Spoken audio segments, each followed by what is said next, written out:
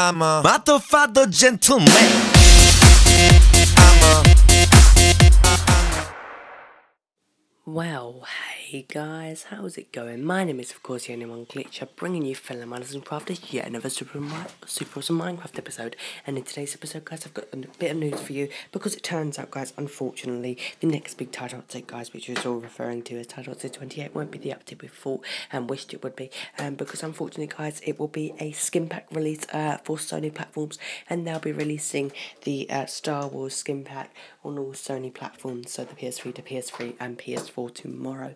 Um, unfortunately.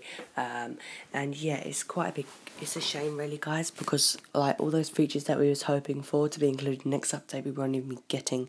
And unfortunately uh, we won't be seeing this for quite a while longer now. Uh, possibly next month uh, the end of next month if it does come out next month which are quite uh, I find quite rare. Uh, but it may come out in October.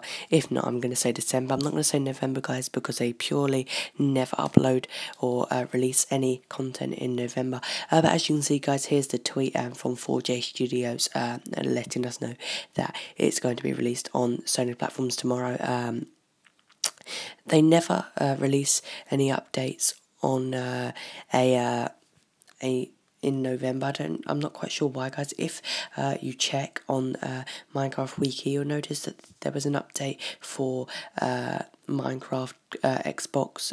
As you can see, guys, there's the Star Wars skin pack. Um, but there's an update for Minecraft Xbox. I think it's title update 11 in 2013, December 19th.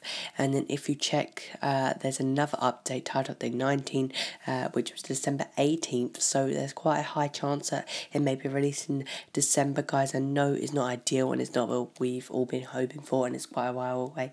Uh, but I think it'll go quick, and hopefully it'll be sooner or before that. Um, but you know, guys, we can only hope for the, the best. And um, I'm not quite sure whether, whether we'll be seeing it in, anytime soon now, unfortunately, or when we will be seeing it. I'm just really confused. Uh, but anyway, guys, I hope you enjoyed today's video. I'm sorry it's such a short one. It's only a, a quick um, news update uh, on Title Update 28. So now I guess we'll be calling it Title Update 29.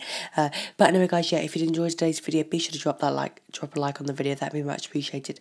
And if you subscribe, you'll see the latest daily on your homepage. Also, guys, I'm sorry there's been no Let's Play today, um, but that's purely because my PlayStation is currently broke, and that's obviously what I record the Let's Play series off of.